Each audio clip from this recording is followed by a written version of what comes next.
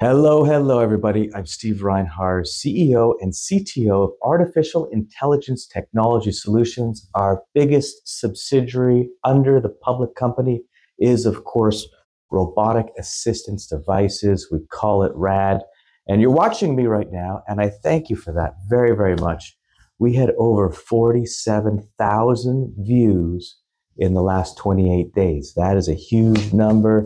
Congratulations and welcome to all of our new viewers. Thank you so much for joining up and being part of our journey. Okay, I'm wearing a bright, I don't know what color this is, gold, yellow, some combination of banana, I don't know, but uh, it's bright. And uh, it's bright by design. And it's got our, our logo, right, which looks great, an AITX company, awesome. But it also has ask me about SARA, right? So, what you're looking at, what I'm sharing with you guys here today is our show shirts. So, every year I want us to be distinctive. And of course, what I'm talking about is the upcoming biggest security trade show in North America. It's called ISC West. There's between 25 and 30,000 attendees, approximately 550 exhibitors, of which we are one. And in that mass of people and professionals, we want to stand out. And I want to use little things and big things in order to get us there.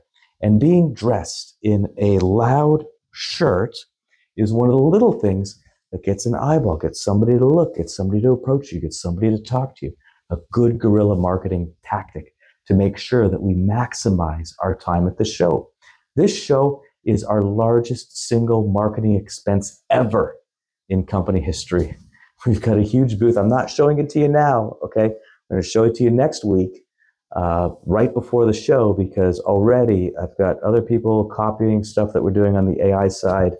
And I knew what happened, but I have to be mindful of some of the things that we share because I know that not everybody watching is a fan and some people want to copy us. So, new followers, thanks. Show shirts coming up. You're going to have to watch the next few minutes with me in the loud shirt. But it's okay. It's okay. Because I know you want to hear this next side. I know you want me to talk about sales and revenues, and I will. And I'm going to lead off by saying that, hey, listen, this is how we build revenues. This is why I've devoted so many years of my life to this company, right? There's a lot of reasons, but one of them is our financial model. And our financial model is based on building recurring monthly revenue. So we get a client, maybe they're getting a ROSA, they're paying X amount of dollars, they continue to pay that X amount of dollars. Get another customer, they start paying us. So now we got X plus Y every month. And it just keeps on adding. And that's how we've gotten to the point that we're at. So as long as we keep the RMR, the new client adds, greater than attrition, the customers that we lose, because can't keep a customer forever. It's just not possible. Things change, buildings close, buildings open, companies get sold, everything, you know, it's always an element of change. But we're going to keep our attrition, we have kept our attrition really low. We keep our customers. And by keeping our customers and adding RMR, our sales and revenues keep going up and up and up. And this year, I can feel it, I can taste it that we hit some numbers that I say are big milestones. You guys are a part of that journey, so I want to thank you for that. Now, one of the things that we did this week is we press released the fact that we picked up a new customer that has over 5,000 potential locations that they could put RAD devices. Now, I'm not saying that their total universe of opportunity is 5,000. They maybe only have 1,500 sites that maybe have security problems, but nonetheless, I did that press release because I wanted to share we've got big customers coming to us for these important solutions because legacy solutions don't work. They just don't work. At least they don't work as well as ours do. They're not necessarily as proven as well as ours do. It was ROSA. ROSA, of course, is one of the core of our technology pieces. So I want to be clear that I personally and professionally have big expectations on sales this year, okay? As demonstrated by that sale that we just closed, but sales come in all the time. Now, one of the things that we're doing to help ensure that we hit these sales milestones that we need is we're doing things we've never done before because we can.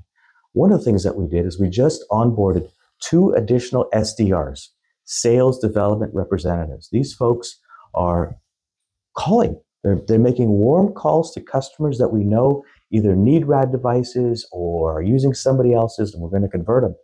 That means that we've gone from four kind of people in that space to six now. These are entry level folks, so not overly uh, pricey for us, but we should get high output from them. And they should be building great careers with us for years and decades to come, I hope. So that's a big deal, adding salespeople. The other thing that we've done, which I am managing myself, is we've opened up a very small RFP team. This is a team that goes after government work. We're at the point now where we've got references, time in business, enough financial strength, all of those different elements you need to win government business. So this team kind of was activated about four weeks ago. It's two people, a senior and a junior. I'm managing them. We're putting out a couple bids. We're learning and training. And I'm pretty excited about that. That team should just add on to what our other six people team does. This is why I have confidence and expectations that we hit these important milestones this year. So the other big announcement that we made this week is Starlink, is Elon Musk's Starlink, right? Now, some of you out there might be thinking, well, they're adding a satellite dish to Rio, and well, what's the big deal? Okay, what's the big deal? I'm going to share with you what the big deal is, okay? The big deal is power. It's about power. I'll give you an example. Starlink itself can draw on average, Starlink on average draws four times the power of a Rosa, just to put that in perspective. Now, depending on what's happening in the atmosphere and what kind of power the Starlink transmitter needs to push through in order to hit the satellites and pick up signal back from the satellites, it could be as much as 20 times power to power a Starlink unit as it does to power a Rosa. And you guys know how big our Rio trailers are. So there's a bunch of engineering that we've had to do and calculate in order to put Starlink on the Rio trailers. Now, we made that announcement this week. I can't wait to show it to you. It'll probably be several weeks before I show it to you because there's going to be a surprise in exactly how we went about to do it.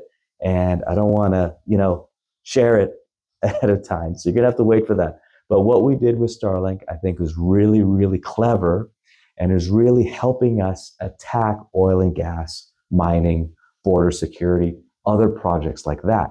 And because of that, we also decided hey, what platform do we have right now that has a lot of power on board right now? And that, of course, is Romeo. So, Romeo with Starlink, now we're talking, right? Now we're talking remote areas where I know there are requirements for security that aren't being met right now for our critical infrastructure in the United States. Now, with Romeo and Rio Starlink, we can provide comprehensive solutions for these areas, help secure our country. I know there's a market for it. We're going to work on it really hard. We're going to finish the technology. We're going to share it with you. I know you're going to love it. I think we're going to make a huge business off of those innovations alone. And Mr. Elon Musk, thank you. Uh, big fan, as I know many of our fans and followers are. So thanks everybody. So listen, guys, that's it for today. I got to get back to work. I hope you enjoyed the shirt. Next week, I'll show you our booth before it gets made up. And then the following week, we will be at the show and you will see all the amazing things that we do. Thanks, everybody. Like, share, subscribe. Appreciate you.